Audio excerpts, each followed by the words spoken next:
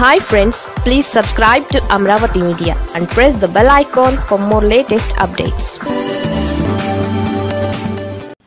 Jagan వల్ల షర్మిలకు ఇంత లాభం కలుగుతోందా? రాజకీయాలలో ఇప్పుడు అందరికంటే ఏపీ కాంగ్రెస్ అధ్యక్షురాలు షర్మిల పని బాగుంది.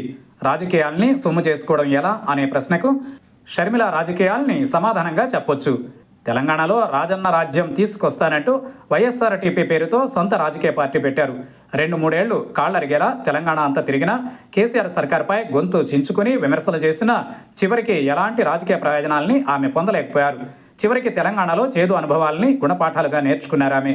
సరికొత్త రాజకీయ పందా ఎంచుకున్నారు. జాతీయ పార్టీ కాంగ్రెస్లో చేరడం ద్వారా మొదట చేతి నుంచి డబ్బు ఖర్చు కాకుండా చూసుకున్నారు. ఏపీలో తన అన్నకు వ్యతిరేకంగా రాజకీయాలు చేయడం మొదలుపెట్టారు. రకరకాల ప్రయోజనాలని ఆమె రుచి చూశారు. కడపకు వెళ్ళాలంటే Chandrababu శిష్యుడైన BJP MP CM Ramesh Naidu విమానం సిద్ధమైంది. పైసా ఖర్చు లేకుండా ఇదేదో బాగుందే అని అనుకున్నారు. పైగా ఎన్నికలలో ఖర్చు పెట్టడానికి కాంగ్రెస్ అధిష్టానం చెప్పుకోదగ్గ సొమ్మునే షర్మిలకు ఇవ్వగా ఆమె ఒకరిద్దరికిచ్చి మిగిలిన సొమ్మంతా సొంతం చేసుకున్నారని అదే పార్టీకి చెందిన శుంకర పద్మశ్రీ మరికొందరు నేతలు ఘాటు విమర్శలు చేశారు. వారు అంతటితో ఆగలేదు. ఏకంగా ఢిల్లీకి వెళ్ళి కాంగ్రెస్ పెద్దలకు ఫిర్యాదు చేశారు. ఈ మొత్తం ఎపిసోడ్లో షర్మిల ఒక కీలక విషయాన్ని పసిగట్టారు. తన అన్న జగన్కు వ్యతిరేకంగా రాజకీయాలు చేసినంతకాలం ప్రయోజనాలు సమకూరుతాయని పసిగట్టారు.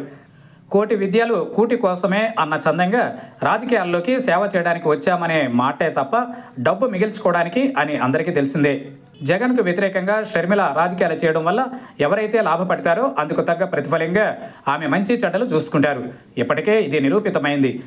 జగన్కు వ్యతిరేకంగా రాజకీయ టాస్క్ సక్సెస్ఫుల్గా చేయడం ఎంత కష్టమో షర్మిలకు తెలుసు.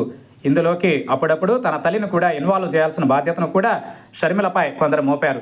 మరి షర్మిలకు ఊరికే ప్రయోజనాలు కలుగుతాయంటే ఎలా అని కొందరు కాంగ్రెస్ నేతలు నర్మగర్భ వ్యాఖ్యలు చేస్తున్నారు. ఏది ఏమైనా జగన్కు వ్యతిరేకంగా రాజకీయాలు చేయడం కంటే ఉత్తమమైన మార్గం లేదని ఆమె గ్రహించారు. చిన్నప్పుడు ప్రతి ఒక్కరూ బంగారు బాతు గుడ్ల కథ వినే ఉంటారు. ఇప్పుడు జగన్ పేరు చెప్పి షర్మిల బంగారు బాతు గుడ్డును ప్రతిరోజు సొంతం చేసుకుంటున్నారనే సెటైర్ ఆలోచింపదగ్గదే.